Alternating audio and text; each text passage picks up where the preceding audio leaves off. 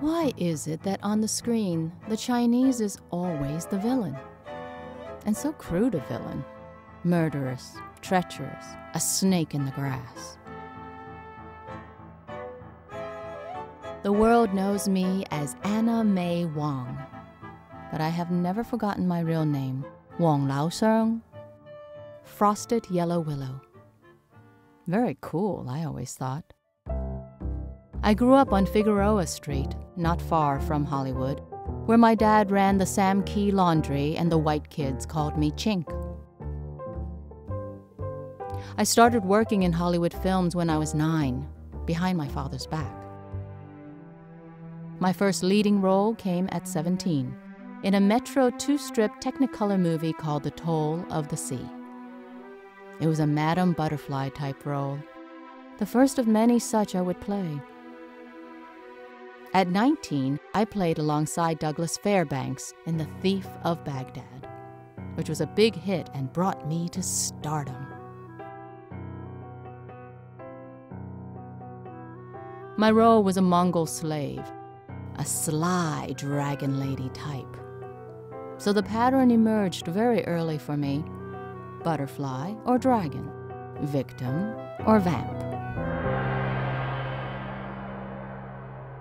Maybe you thought that soon I would be starring in all sorts of major studio films.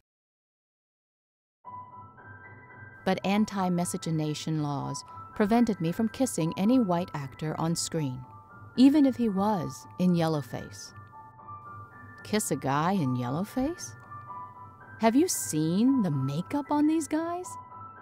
Warner Oland as Charlie Chan, Boris Karloff as Fu Manchu, even Quinn, Brando, and Katharine Hepburn did it.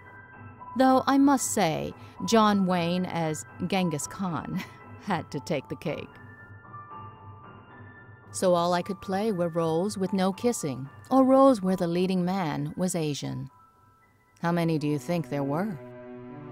I was stuck with butterflies and dragon ladies. When I lost a decent role as the lead in the picture The Son-Daughter, to Helen Hayes in Yellowface. MGM called me too Chinese to play a Chinese. What the hell does that mean? But what really hurt was when I lost the lead in The Good Earth to Luise Rainer, who won an Oscar that could have been mine. What is casting discrimination in Hollywood? Just another day on the job. It was too painful to keep reinforcing false racial images. So in 1928, I went to Europe, where I found success in roles much more to my liking. Strangely, though, the Germans considered me Chinese and never mentioned that I was American. In 1936, I spent a year in China and felt in touch with something very ancient in me. I wonder how the idea got abroad that the Chinese are always without emotion. The passionate greeting I received from my own people touched me more than anything in my motion picture career. In China, I was both adored and criticized for the roles I portrayed in Hollywood films. I felt a simultaneous sense of belonging and alienation. How ironic to be rejected by the Chinese because I'm too American, and by Americans because they prefer other races to play the Chinese roles.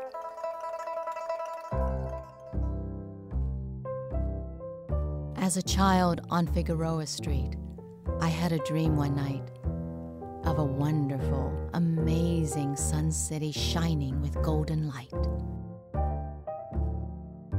where white palaces were erected with odorless gardens. I wander to white paths and dance and am overjoyed and throw blissful looks in the blue air. And a man with a big horn shouts, Anna May Wong! We do a close up of that. And then another man comes near with a three legged peep show box and whines and whines. And I have an overjoyed face because I feel the great happiness. And the man says, You did a great job, May Wong. You are a film star.